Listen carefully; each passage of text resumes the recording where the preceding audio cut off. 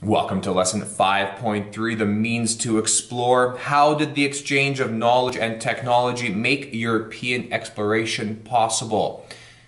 We're going to find out the different types of navigational techniques that explorers use and all that kind of stuff to reach new and far distant lands. So stick around and let's learn something.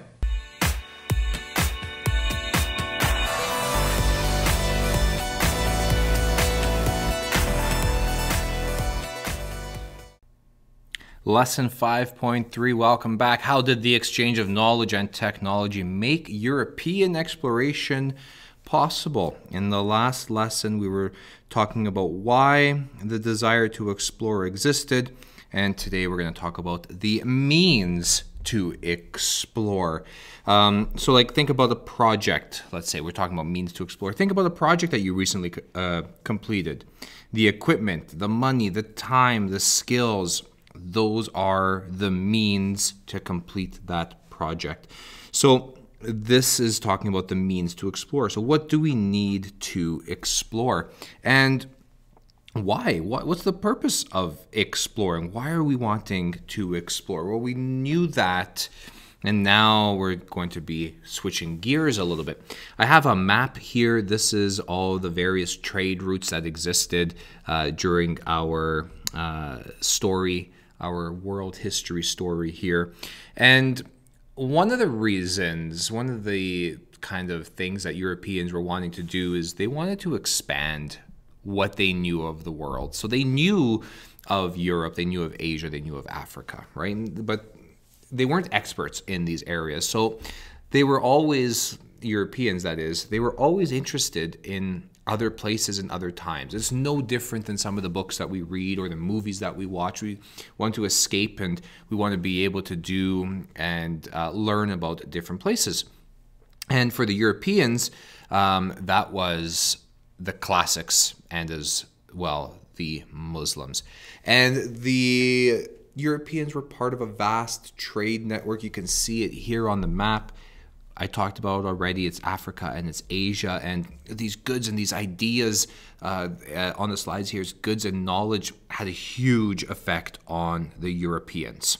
Okay, so uh, this was super important to them, and the Europeans, well, they were open and curious as to what else existed in the world, and this became a part of their worldview. They knew Europe really well they knew Africa and Asia somewhat, but not as good as they knew Europe. So they wanted to be able to learn more about Africa and learn more about Asia.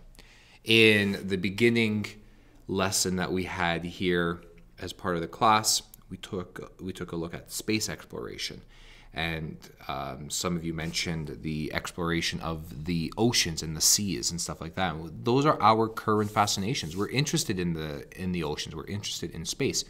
Back then, they were interested in Africa and they were interested in Asia. And guys like Marco Polo and the Polo brothers, um, those travel accounts that they wrote about, those are super popular.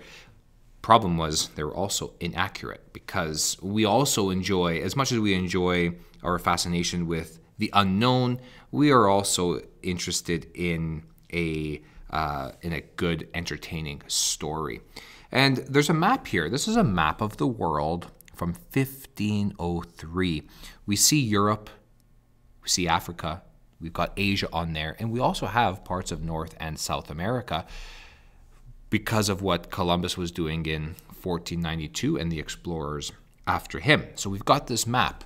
It's nowhere near an accurate map, right? It's not the satellite imagery that we have today, but it is a map nonetheless. This is a map from 1482. This was this was years before that first map that I showed you. We've got Europe here and Africa and Asia, but this is nowhere near anything like that of uh, that first map that we have. So our technology is ever increasing and improving and, and gaining us a lot of knowledge. How do we go about doing this? Well, technology changes, and you saw with those two maps how it changes. There's a man here. This is Prince Henry of Portugal. His nickname is Prince Henry the Navigator.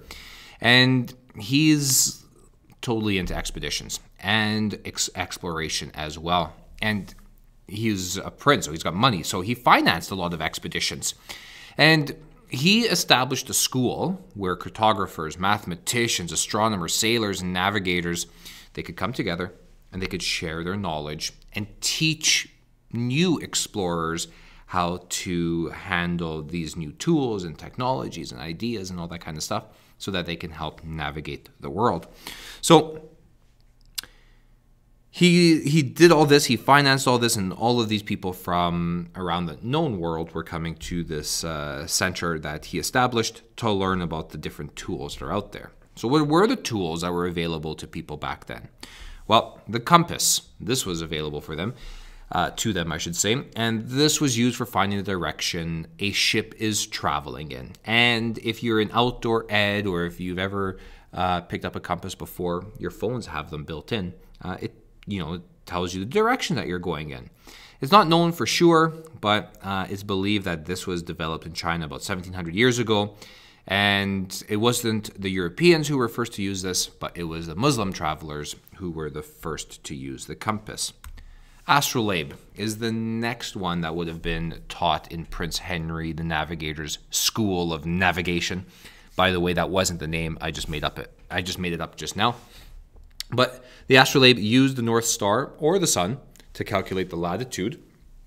That's the latitude of a person uh, or a ship, and that is the distance north or south of the equator. Okay, we're not going to get into all the sciencey stuff, but you should know where the equator is.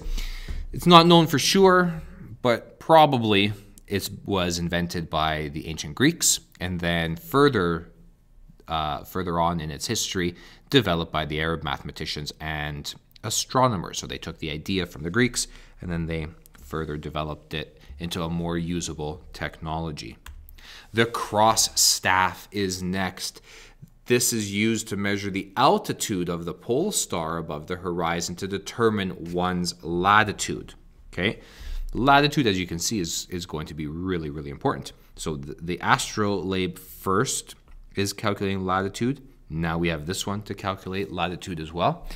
Probably invented around the mid 1300s for astronomical purposes. And then in the 1500s, they start using this for navigation. This then gets further improved. The cross staff gets further improved to the back staff. And again, we're talking about latitude. And this was from the late 1500s to improve the use of the cross staff. And if you remember from grade seven social studies, many of the explorers that we learned about in grade seven, they've got these images of all of these tools as part of their profile pictures. So um, these are very important technologies for us to be able to use. Now, when you think of exploration back then, we often talk about the ship of Christopher Columbus, the three ships, but we always talk about that Santa Maria ship because that's the one that we can actually physically go and see at West Edmonton Mall. It's there in person. Some of you even had maybe a birthday party on there, but that's a replica of his ship. That was a, a technological advancement as well. Okay, those ships. Take a look at some of these ships over the course of the last few centuries, the improvements that ships made over time too. So starting off as a canoe and then fast forwarding to the Santa Maria ship that you see uh, at West Edmonton Mall, these ships, that Santa Maria ship is crossing the ocean, and that's that's not an easy thing to do. So the next time you're there, uh, the ship on the right hand side here is similar to that of the Santa Maria.